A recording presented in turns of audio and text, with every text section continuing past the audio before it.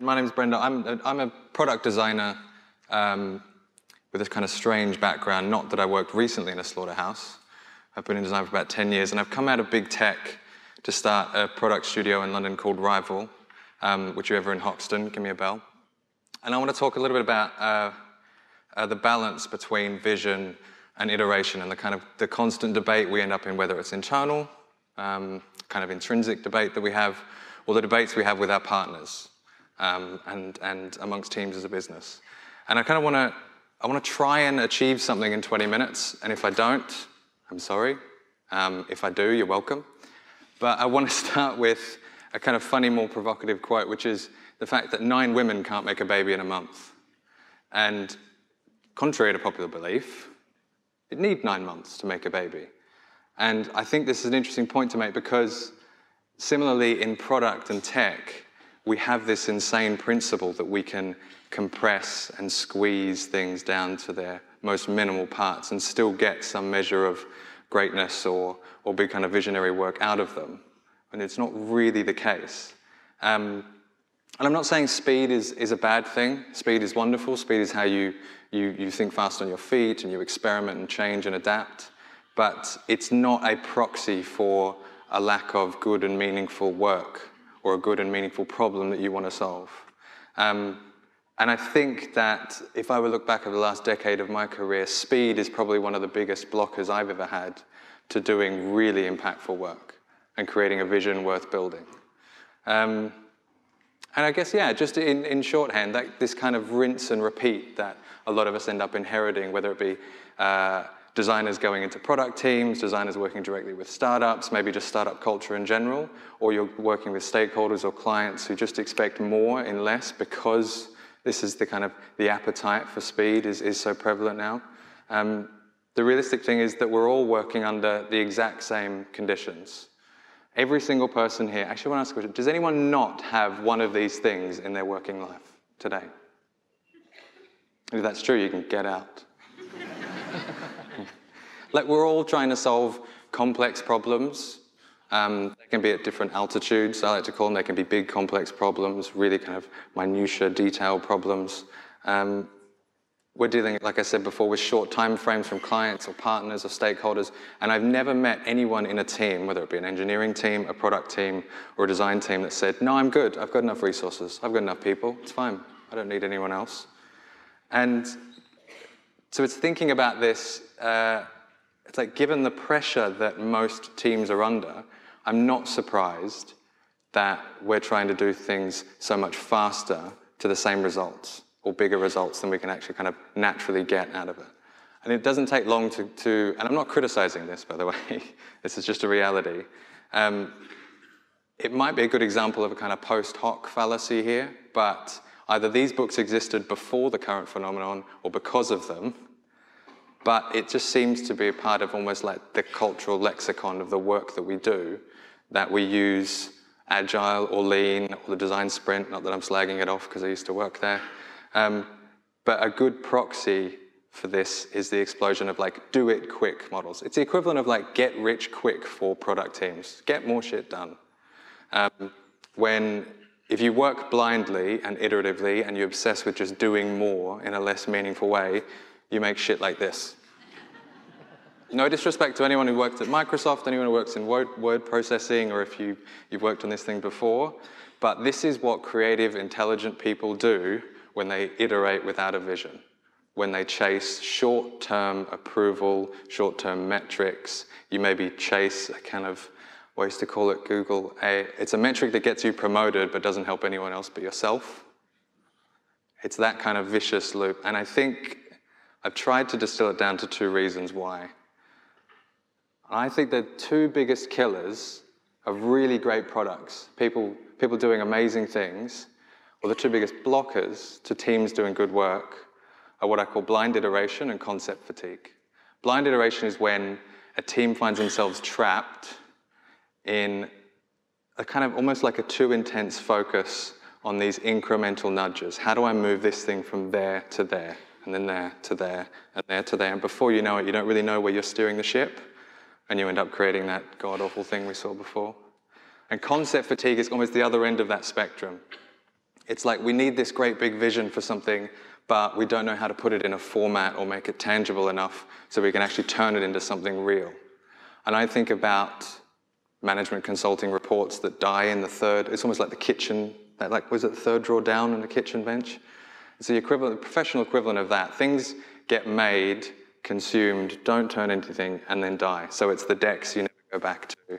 It's the research reports that never become actionable, or the concept videos that may look great on stage, but don't actually turn into something that's tangible that goes in your hands. Um, and what I want to try and demonstrate, if I can, is the fact that great visions all start with what I call CUJs. And this is some of the terminology might be shared, but critical user journeys are the best way for you to avoid iterative traps and concept fatigue. Um, basically because it's just a universal way of framing a problem, framing a customer problem. Um, they exist at, like I was saying before, kind of multiple altitudes. A critical user journey for an entire product may be one thing, and it may be made up of hundreds, if not thousands, of CUJs that together actually end up, uh, how do I say this, kind of making up the reason for your product existing. And they're very straightforward. A critical user journey is just an important customer goal or outcome. The great thing about that is you can't iterate to change an important customer goal or outcome. You can build a vision for an important customer goal or outcome, and you can do it at the tangible level, you can do it at the theoretical level, but you can't really iterate your way around it and end up with that Microsoft Word thing we saw before. I'm really trying not to rail on Microsoft, it's nothing. So if I was giving an example, I used to work on Google Maps. This is not a direct kind of translation of this, but a high-level critical user journey for Google Maps, which almost sounds like a mission, would be navigate and find things to do in the world around me.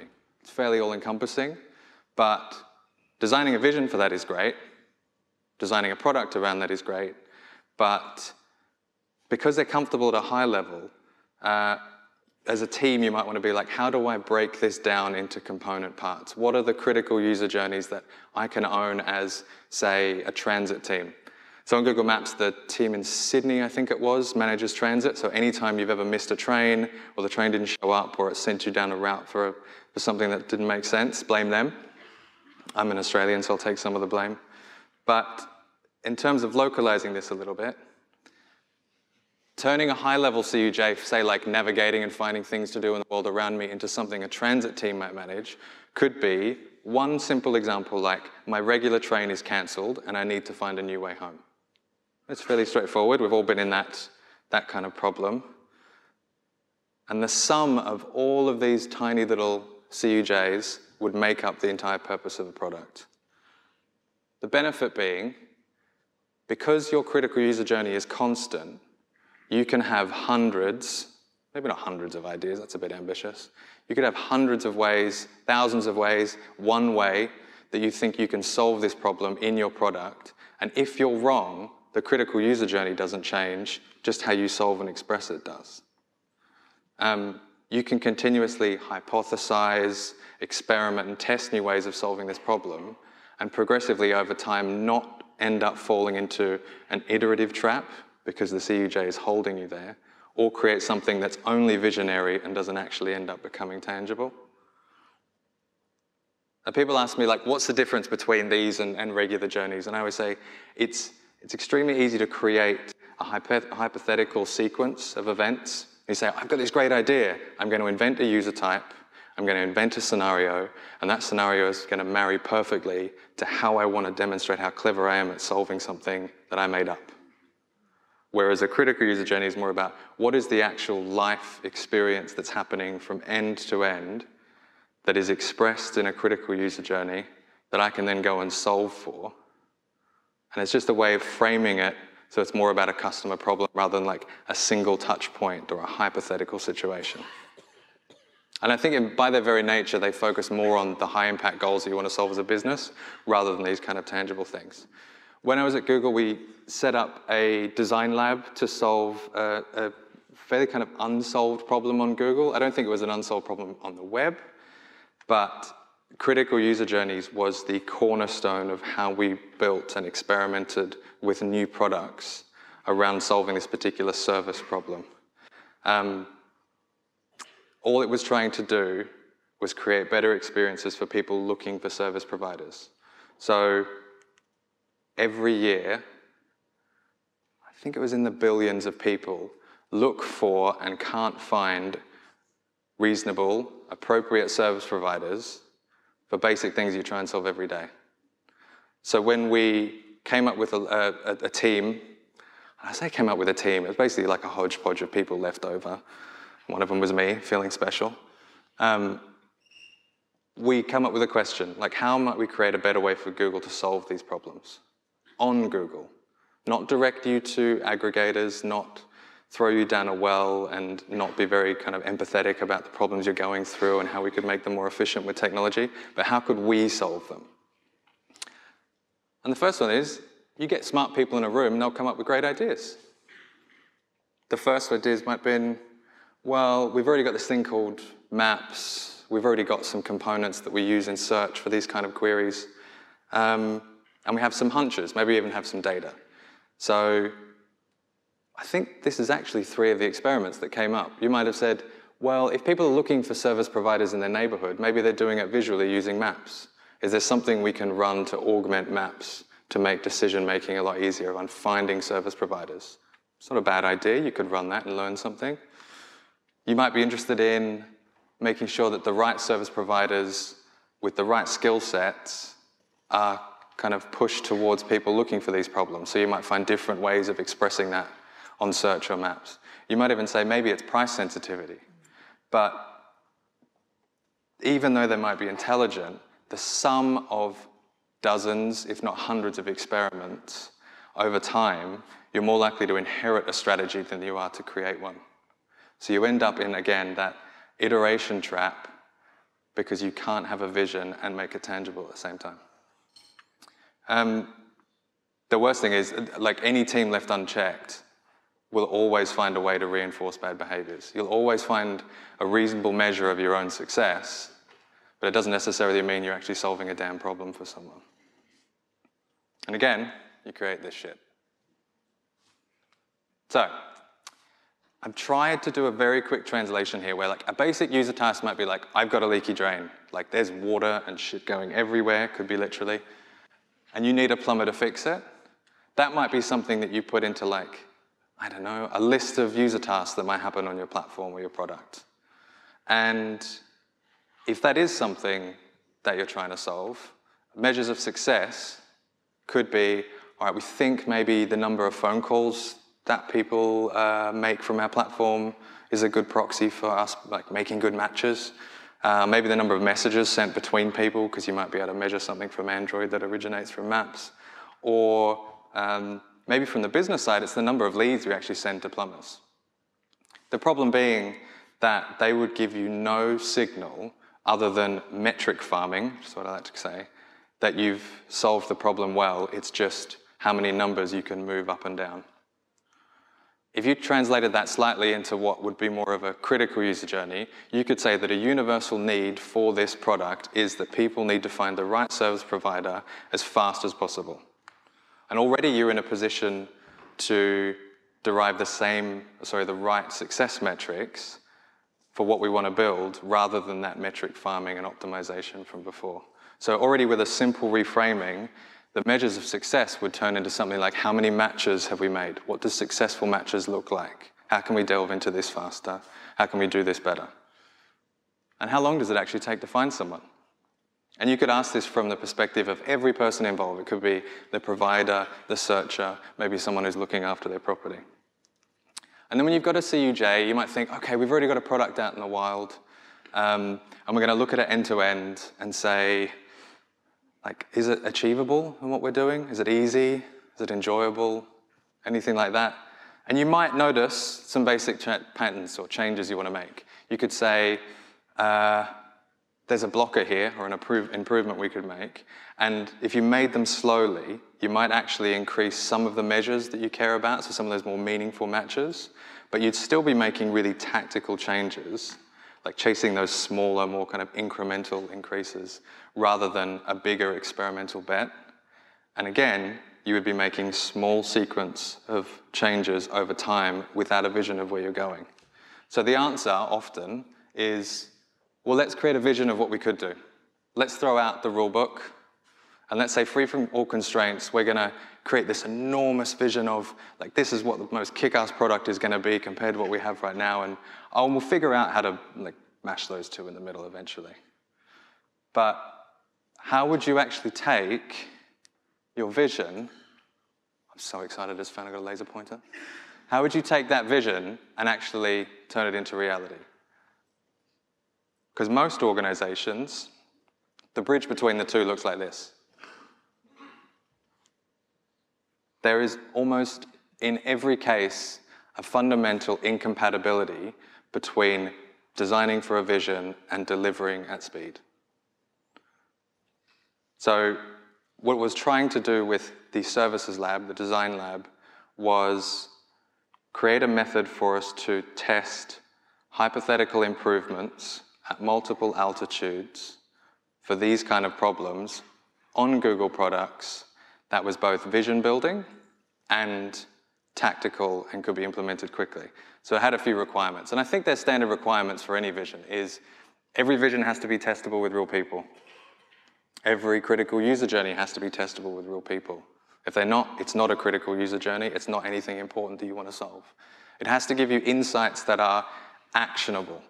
So it can't be, we learned X, and that's important because it feels good and we sound smart. It's like, what the hell are you going to do in your product to actually solve that problem? And it has to build a vision over time. You can't pause, you can't put an entire delivery or backlog on hold. You have to start building. So, to really flex my keynote design skills, you start with a critical user journey, and then you would have a bunch of hypotheses about how you can improve this. You can do uh, heuristic reviews, you could run sprints, you could come up with hypotheses and prototypes and designs however you want to. But until you put that in front of someone, it's useless. It's all subjective, it's kind of hearsay. So the actual lab itself is every two weeks, we would be carving off a critical user journey that we cared about as a team, designing prototypes that we think would solve it, putting it in front of real users so we could get answers about or some signal as to what was going to work and what wasn't. And the good thing is when you run this every two weeks, what you end up slowly creating is an enormous backlog of insights about how people are interacting with your product, how well you're solving the problem right now, where you could be going in the future. And that thing just turns and turns and turns. And I think without it, without the lab model, without using a critical user journey as a, almost like a backbone, we wouldn't have been able to produce like the experimental vision work and build the insights that could be put into backlogs, like tangible pieces of iterative improvements, um, without trying to boil the ocean, to be honest. So what I think in traditional terms would have taken up to a year to start seeing really good, valuable results, we started running um, code reviews for new features being released in a matter of weeks rather than months, and we built a vision in months rather than years. So it was interesting, but similar, like simultaneously, we were kind of challenging the idea of how you build a North Star and how you make it tangible by doing it at the same time. It wasn't always tidy. And the big question I always get is like, but which problem is most important? And I like this, I never nail this analogy. But I like the idea of thinking about roads, potholes, and reconstruction. Think about every street. I'm really stretching the Google Maps metaphor here. If you think about every street in your neighborhood is in a kind of varying degree of disrepair. There's a brand new street that's really nice and smooth to drive down, and there's the one that's such a piece of shit you don't go down. And there could be some that literally your car would fall into. And products are kind of the same, in that there's going to be big problems that are blockers for people achieving what it is that you actually do we're trying to solve for them, sorry. There are minor nuances like speed bumps, and it's really up to you how you end up prioritizing this. You could say, I'm going to take all of the high priority items and solve them in one kind of big foul swoop. Or I'm going to take, to stretch this analogy even further, a street. And I'm going to take this big item and then these three little things and then these one medium thing over here and this other big thing on the way because you think that combination of improvements and enhancements and new products will actually solve the problem even deeper. So all I want you to leave away, like today with, is the fact that the sum of small iterative experiments will not give you a compelling vision over time. You won't get it for free. You need to develop a model internally, some kind of engine that lets you work at two speeds, now and in the future. Doesn't matter what analogy you want to use, it can be now and future, three feet, 30,000 feet. And the model you should develop should be driven by critical user journeys, because without them, you're going to end up falling in those two traps we talked about before of blind iteration and concept fatigue. I haven't been able to go into a heap of detail, but if you are interested and do want to talk to me about it, just as a general, a general friend, or maybe there's a, you see uh, a need in your team for it, then give me a call. Thank you.